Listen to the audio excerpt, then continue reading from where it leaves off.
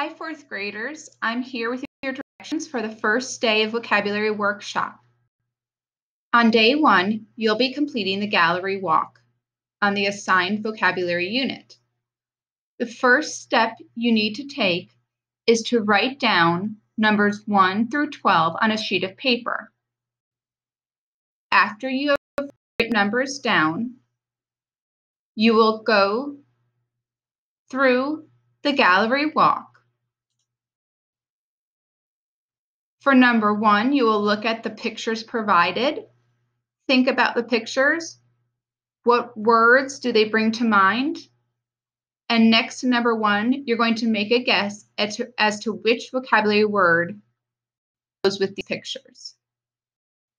You're going to continue with the pictures for number two, three, four, five, six, seven, eight, nine, 10, 11, and 12.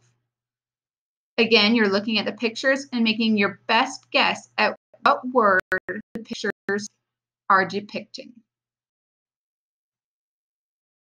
Tomorrow, during vocabulary day two, you will have the opportunity to check your answers to see if you guess the words correctly.